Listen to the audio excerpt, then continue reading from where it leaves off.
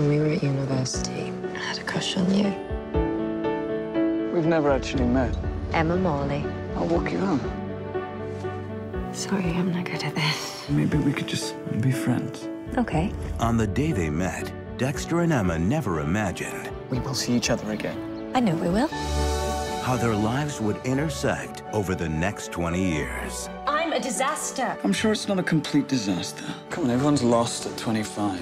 You're not. Trainee TV producer, nice new flat. You need a holiday. I think we need some rules. Rules? I'm not taking any chances with our friendship. Separate bedrooms. No flirting. And absolutely no giddy dipping.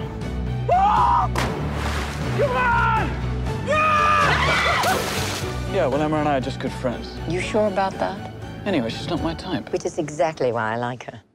This summer, experience the lives of two people for one day each year on each anniversary of the day they met. Do not go away. Who says quality TV is dead?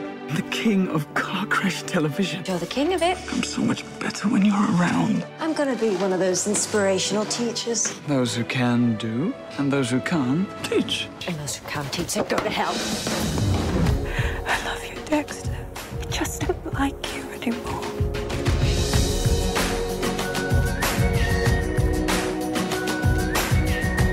You're getting married. Yeah. I missed you, Dex. Your concerned about my future It's not quite what I was expecting. There's a word for this. Uh, Butch, what do you look like? A screwed up divorcee. I need to speak to someone. Not someone you.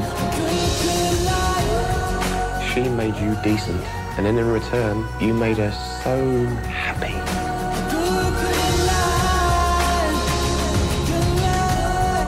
Whatever happens tomorrow, we have today. I'll always remember it.